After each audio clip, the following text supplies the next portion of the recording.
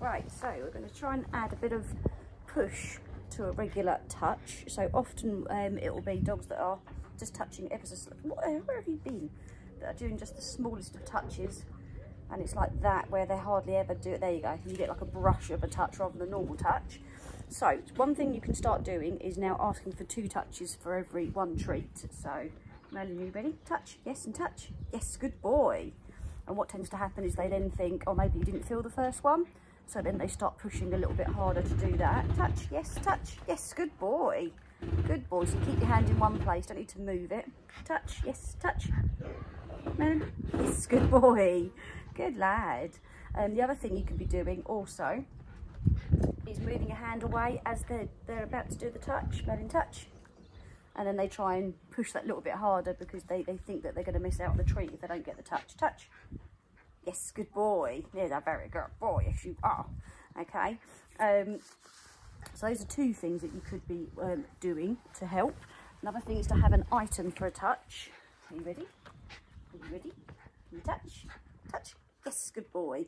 And again, just move it slightly out of reach just before they get the touch. So then they start really pushing to get it quicker.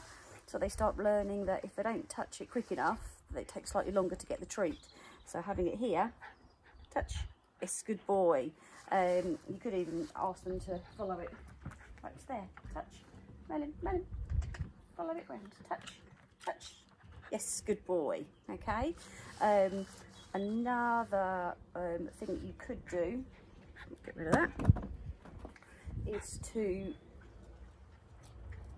push back slightly. So touch, touch. Where is it? Touch. No, touch. Yes, good boy. And they don't get anything until they actually give a good push. Touch. Wait. Touch. Yes, good boy.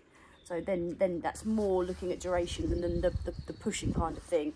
The best one tends to be a bit of teasing though.